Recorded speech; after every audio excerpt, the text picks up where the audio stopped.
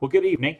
Um, I thought that instead of me tonight, I'd let you listen to two sermons from what became the annual meeting of Arkansas Baptist this year. So you're going to hear uh, President of Arkansas Baptist, uh, Dr. Manley Beasley Jr. from over at Hot Springs Baptist Church for a, a few minutes. And then you'll hear the Executive Director of Arkansas Baptist, Dr. Sonny Tucker, um, share with us some insight from Scripture. And the other thing that you'll get is uh, Dr. Paul Chitwood, who is the president of the International Mission Board. Uh, you'll hear a brief report from him on our work in uh, international missions as Southern Baptist. But I encourage you to take a listen and pay attention. This is part of what we are a part of as Arkansas Baptist. So uh, I was deeply challenged by these these three men and some of the other reports, and I think that you will also uh, benefit from hearing. So take a listen, enjoy, and uh, we'll see you Sunday days, morning. I don't know how many people uh, we have conversations with, and the conversation moves in the direction of would you ever have believed a year ago, even, that we would be where we are today? Uh, trying to do God's work at a distance. That's a, that's a new one for us, isn't it? Um, divided nation, uh, higher level of antagonism toward us who call ourselves by Christ's name. I think we can agree that that's happening around us. Um, but just so you're aware, Paul experienced social distance. Paul faced intolerance, not just by one group, but by multiple groups. The Jews, the Jews, Gentiles, all of them, the Romans. Uh, he experienced everything we're experiencing thousands of years ago. You want to try some social distancing, go to prison for a few years, right? There's nothing that he experienced in ministry. There's nothing that we experience right now in ministry that Paul did not have to deal with. Isn't that interesting? And yet his attitude was so different than ours. Not that he didn't get discouraged from time to time, he records that for us.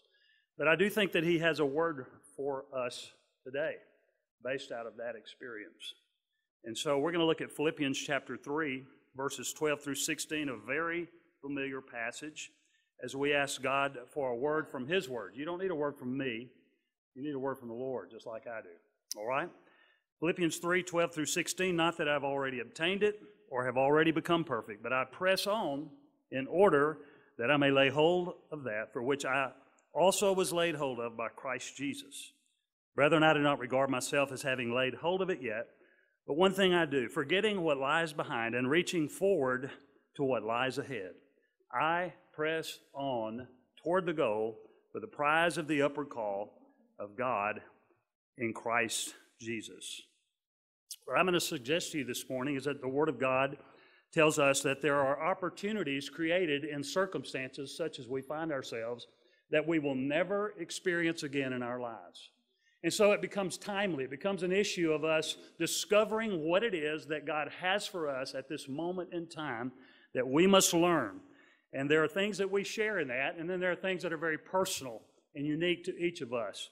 Today, since I'm speaking to you as a group, I'm going to focus on those things which we share that we must do in the context of the circumstances we are in. First of all, I'm going to suggest to you, based on this passage, now is the time for us to reevaluate. Reevaluate. As an individual, as a church, as a convention, as a national convention. I'll, I'll take it on further. Now is a time for us to reevaluate the circumstances in which we are living today, we don't know how far they're going to go, how much longer they're going to last, so we must make the adjustment. Amen? Everybody's praying for revival in my church. Everybody's praying for revival across the nation. What I'm concerned about is the revival we're praying for is that we go back to the way it was, and that's not what God wants from us, folks. That's not what He wants. We must reevaluate. He says, Not that I've already obtained it, or have already became per- perfect. Paul understood, and he's writing this from prison. He's been around the block a few times, and he's saying, I'm not there yet. There's still more to learn.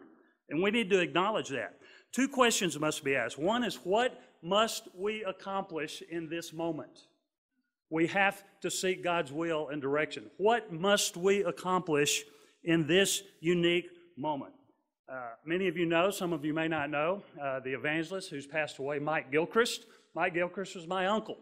And uh, when I took my first pastorate, he told me there are some things that can only be done in your first year. Make sure you do them, or they'll never get done. Now, we call that the honeymoon stage. So he knew what he was talking about, right? But he said that there are some things that must be done in this moment in time that will never be done if we don't do them. We must seek God diligently and discover what it is as a convention, since I'm speaking to you on that level. But that's also personal, and it's also instructive for us as pastors, leaders, ministers, and even in our own home. Would you agree? So we find ourselves seeking God, what is it that we must accomplish before this opportunity is lost? But there's another issue here. There are some things we must abandon now. One of the interesting things that's happening in our church is that there are a lot of things that we haven't been able to do. I'm going to suggest to you there may be a few of those that we don't need to ever do again. Amen? As a convention. We are, we are carefully, as a part of the executive committee, which all of you who are here and many of you online would find yourselves in, we are, like I've never seen before, we are seeking God diligently about what we are about. Amen, Brother Sonny? Amen. We are, I've, I've been in all these committees he listed and all this stuff. I've never seen anything like the heart and the commitment of men and women just like you to say, we need to know what God wants us to do, and what He doesn't want to do, we need to forget about and move on. Is that what He said? He said, we need to move forward, forget about what lies behind, reach forward. We got to let go. We don't go back, we forget what lies behind, we move ahead. Amen? So, we need to reevaluate. Secondly, I'm going to suggest to you that God's Word suggests to us that now is the time for us to rededicate. You know, you remember back when we were a kid, they always, part of the invitation was always rededicate. And then it got kind of a bad, I, th- I guess it got a bad name. We don't use that word anymore. Rededicate. You know, yeah, well, he came down, he rededicated. You know, uh, we, we don't do that. I got news for you, folks. I rededicated when I was growing up, okay? I was raised in, a, uh, in a, the home of a pastor, and the invitation was given. And when God spoke to my heart, and the guy said, rededicate, if I didn't know what else to do, I went down there. It showed a heart and a desire and a passion for the things of God. What's wrong with rededicating? Amen? Now, I will say this if you want to know a more biblical concept of what the word has to do, I'm just going to say get, get back to the cross. Rededication is getting back to the cross, and I have to do that consistently and persistently in my experience. It's a place of death. The dedication is that consecration that takes place when we put ourselves on that altar, when we make the choice, once again, to die. And Paul said he did it pretty frequently. How about daily? Maybe we need to wake up every morning and rededicate. Maybe we need to wake up every morning and place ourselves back on that altar of sacrifice and say, God, not me not my will, thine be done. How do you do that when things get tough? How do you deal with what we're, we're, we're messing with here? Remember your calling. Remember your calling. Have you ever wanted out? If you're in ministry and you've never wanted out, you just hadn't been there long enough. but we can't quit. Why? Because we didn't volunteer. We were called by God Himself. We are compelled to die if necessary. But I got news for you. As someone who apparently uh, should be dead by now, bypasses, diabetes is bad, all kinds of junk. Sometimes it's harder to live for Christ than it is to die for Him. Now, I know that sounds, you say, well, yeah, none of us have really faced death. But in the circumstances we find ourselves in, we may be called very soon to make a stand for what we believe, and we're going to have to live for Him. Remember that you were called by God, but also we need to remember our priority. Not just that to doing that for which I was laid hold of, but also, Paul says, this one thing I do. Just because we're facing different circumstances doesn't mean that our number one priority has changed, has it? Do you ever, do you ever think that God's up in heaven right now wringing his hands? The COVID's destroying ministry. How, am I going to how am I to reach the world with all of this mess that's going on now? We need to get back to that which is the priority that we were given from the very start. Let's go back to doing that for which we were laid hold of. Paul even made this statement. He said, To live is Christ, to die is gain. We have to come to that place again and be reminded I can't quit because I didn't start this thing, God did. So we rededicate ourselves, we renew our commitment to Him. We, we refire, if that's what you want to call it, whatever you want to call it. My point is this it's time for us to re accelerate. This is the moment in time where you and I ask God for the divine wisdom that we need. Is that what we need? Divine wisdom, and how are we going to reach others? How are we going to minister in the context we're in with the expectation that God will do greater things in our midst now than He's ever done before? We're already making excuses for why our numbers are down, our giving's down, our attendance is down. I see people, well, I'm not coming back to church as long as I have to wear a mask. Move to China and see what it takes to get to church. Wearing a mask, they'd love to switch out with you.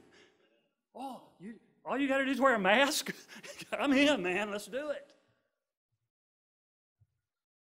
We are called to go harder than ever before. I press on. I like what the old preacher said I ain't looking back, I ain't holding back, and I definitely ain't going back. Amen. Amen. Hey, say it with me. I'm going to say it. We ain't looking back. Let's say it. We ain't looking back. We ain't holding back. Say it. We ain't holding back, and we ain't going back. We ain't going back. Sorry, all you people who love good English, just got you to do it. We are called to go higher, not just to go harder, but we're called to go higher than we've ever been. I press on toward the goal of the prize of what call? The upward call.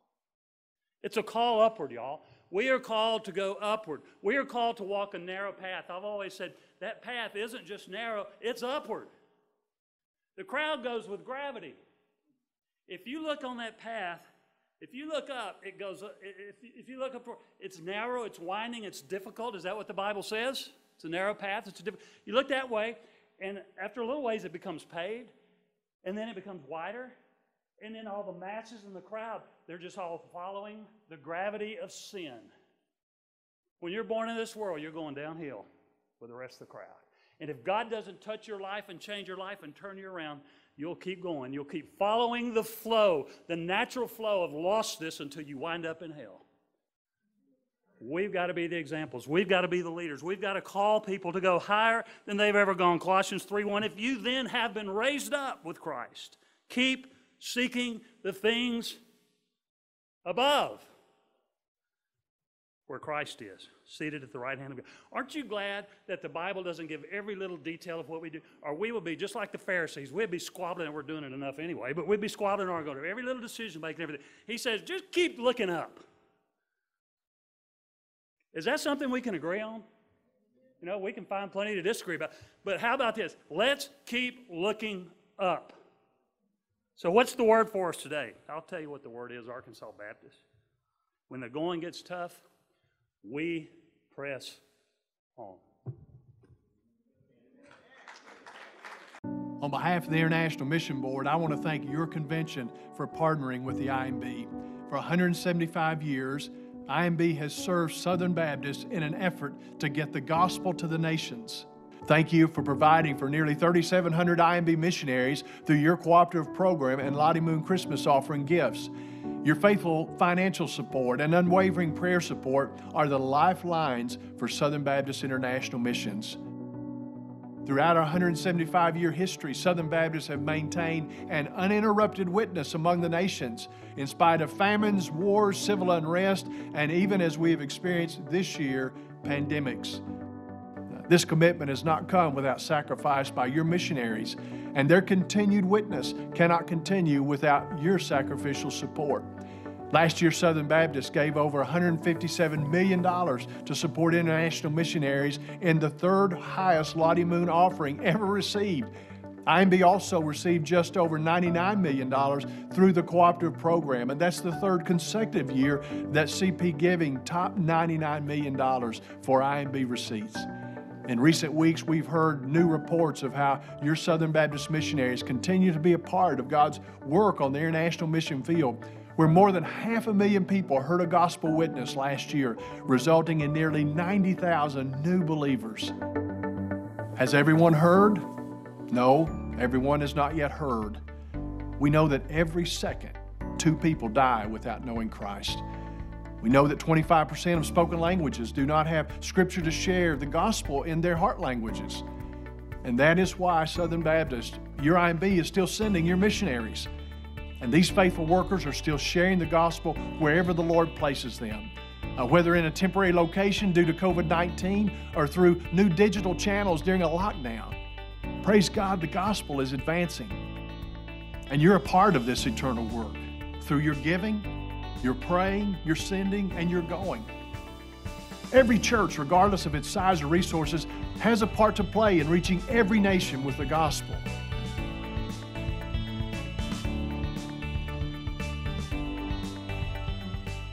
And the nations are waiting. Thank you for doing your part.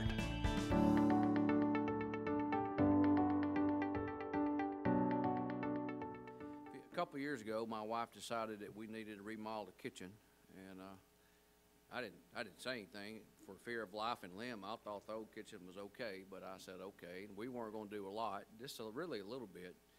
Took longer than we thought, than I thought. It was more messy than we thought. How in the world? Every day you come in and there's strangers in your home you don't even know and uh, they look at me like you're in the way. you know, I'm looking at them like I own, I'm paying you. I own this place. How do you get sawdust everywhere? Why do you let the cat in every day? Can you not keep the cat from running in the house? And so it was really laborious. It was a never-ending nag. It was very inconvenient. It was tiring the system was a very, the process was a never-ending nag. That's- Understand what I said there. And, uh, but once the, once the remodel was done, it was really great. And you look now, you see the new cabinet covers and the things that are wonderful. So you think about what we're going through with this uh, pandemic and how we've impacted. Manley had some incredible things to say about that. You really did and I'm going to piggyback a little bit on what you shared. I think we're in a remodel. You think about the attitude and the heart we should have. We should be very positive about this time. You know, we have prayed for a long time. God send a revival. God send awakening. God, help us to break these old molds, these old traditions that are killing us. Help us to help our folks get out of just being program based. Help our folks to just quit basing Christianity on whether or not you show up at church on Sunday. Help our folks to be engaged. And I think God has said, okay, I've heard your prayers. I'm going to answer your prayers. But if you want to remodel, then we're going to move all the furniture out for a while. And we're going to get sawdust everywhere. And we're going to, you're going to have to get tired, and your people are going to have to get tired and you're going to have to understand that there's a whole lot that goes into the beautiful, wonderful facelift that we're going to give, but you've got to go through this process. Folks, I totally believe we asked for this. And I totally believe God has responded. Whether you're strongly reformed or moderately reformed or you're a traditionalist like me, we have one thing in common. We believe in God's sovereignty and we believe God's timing is perfect and we believe that God's love is never ending, and we believe that God really, really cares and wants to do a great work. We all agree on that. So as we are right in the middle, hopefully we're in the middle, maybe we passed the hump.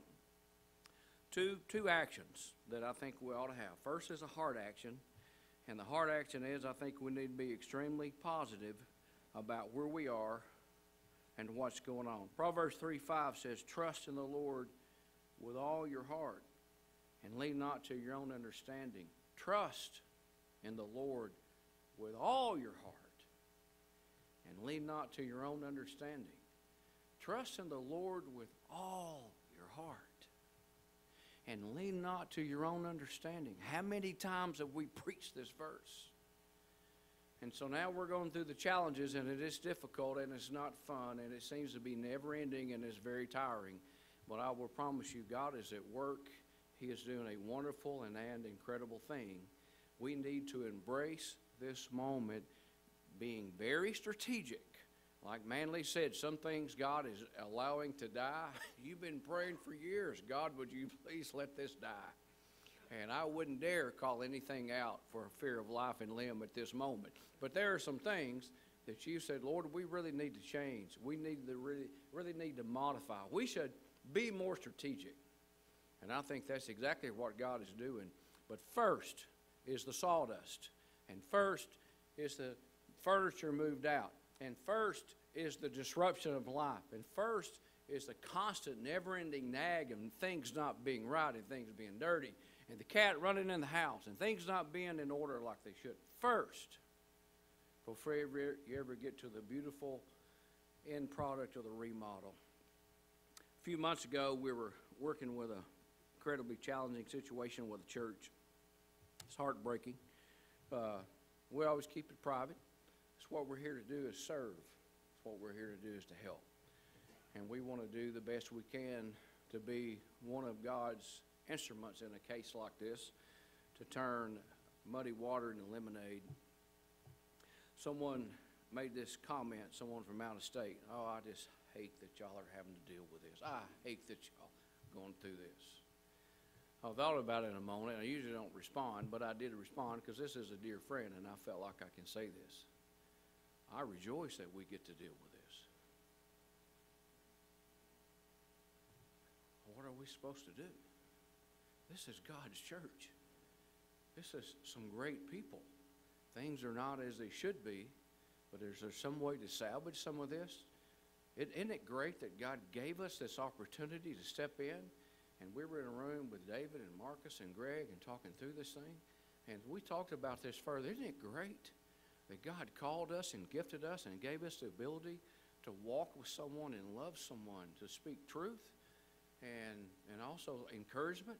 I, I, what, what greater honor could we have that day and for that couple of weeks to really get to help a congregation going through a horrible time? What, what greater thing could we do? I mean, I'm, I'm okay if we go fishing. I'm okay if we play golf, but I can't, I can't live on fishing and golf. When we get to serve the church. Now, you think about this. I want you to embrace this moment.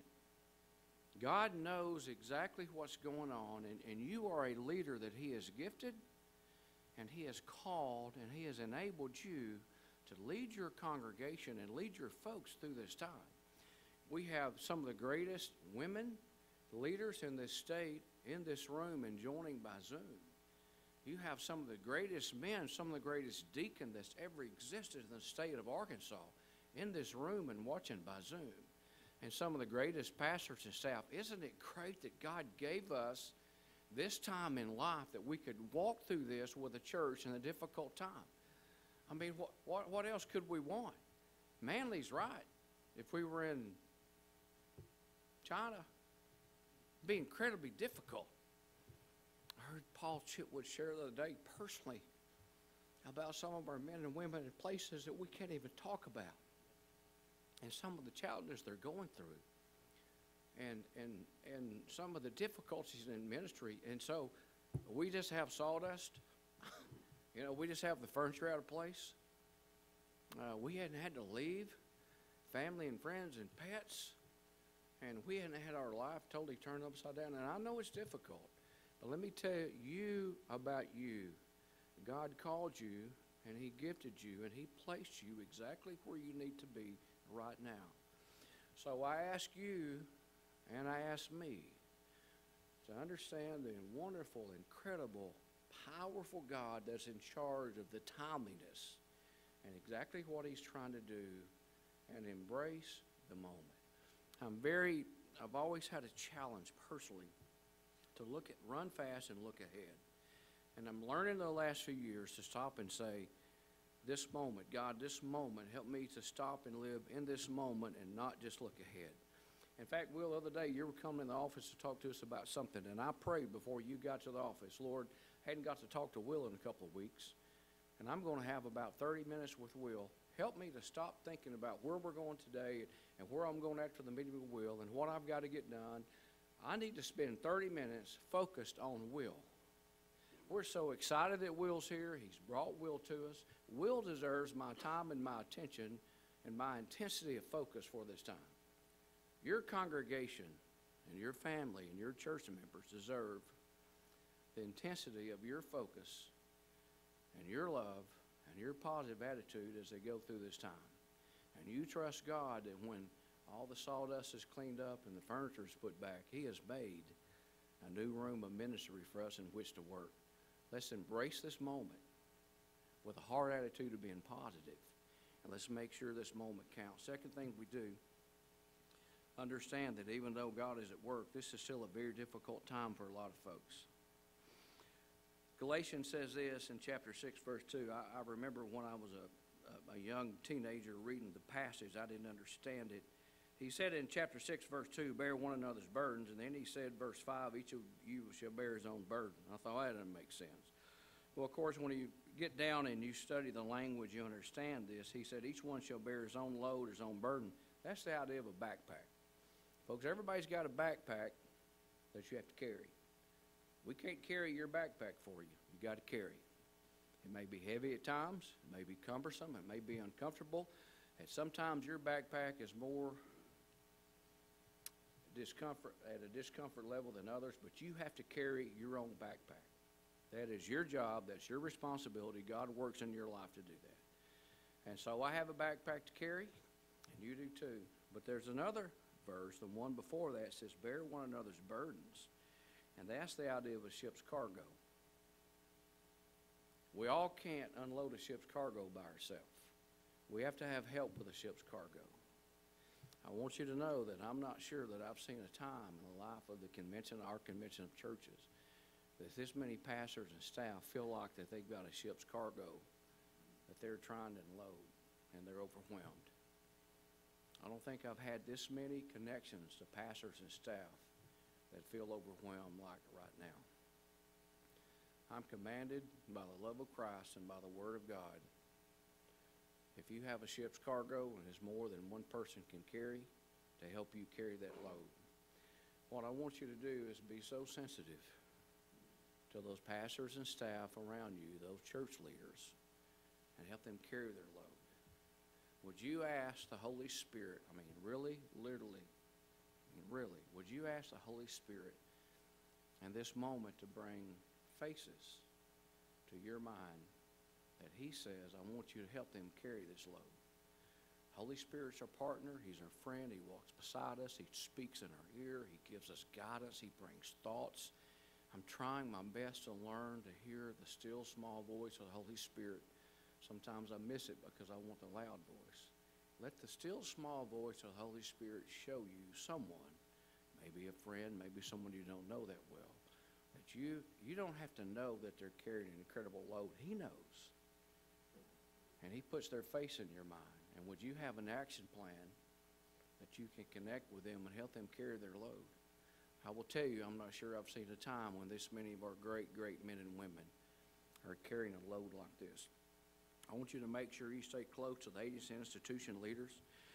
We remarked a few moments ago, are you aware of the connection these agency and institution leaders have to you, your churches, and each other? Isn't that a blessing? Folks, that's incredible.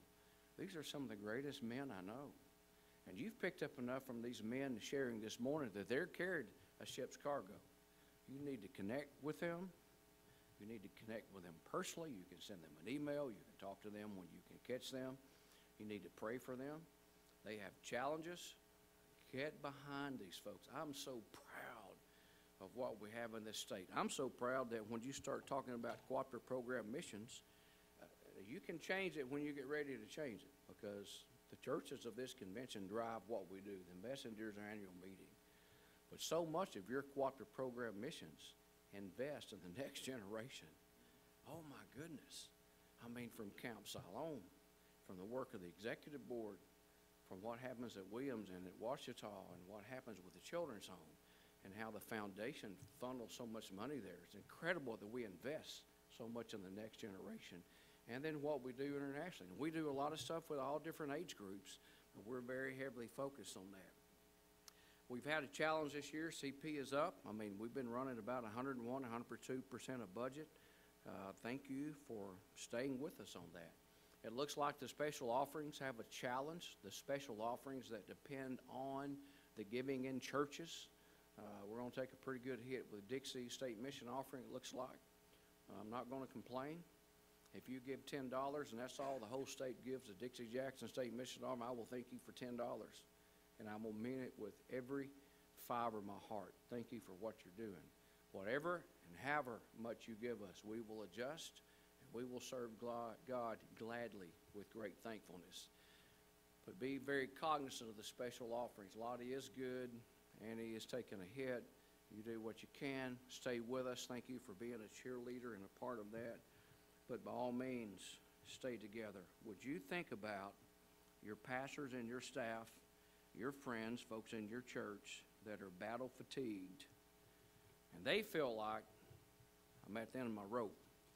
They feel like I've been unloading this ship's cargo for so long and my back is tired and my brain is fogged and I'm just exhausted.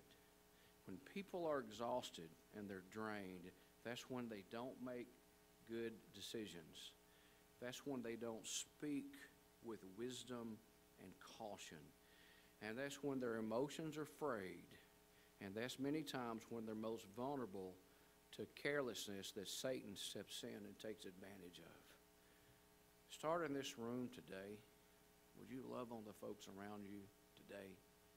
When you go back home, would you ask the Holy Spirit, your great friend, to show you faces of folks? You don't need any information other than the Holy Spirit gave you their face.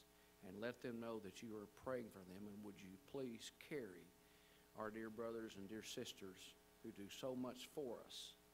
Carry them during this difficult time while God is reshaping and giving us a new day, new day to do incredible ministry. Let's pray. Father, speak to our hearts as we leave. Show us what you want us to do. It is challenging, and I think we're all fatigued. Lord, you're doing a new work, and we're just in that remodel process that's very challenging. But Lord, in the process, we have folks that they're carrying their own backpack, and I can't carry that for them. We're not even asked to do that. But they have a ship's cargo. Show us, Holy Spirit, these wonderful men and wonderful women and how we can share a word of encouragement, help carry that load. Lord, you've given us great officers in this state convention that serve us. I love the system that we're driven by the churches. You give us leaders who coordinate and serve. Thank you for the officers that you've given us, and in a moment, we're going to honor them. So thank you for today and what you've done. In Christ's name, amen.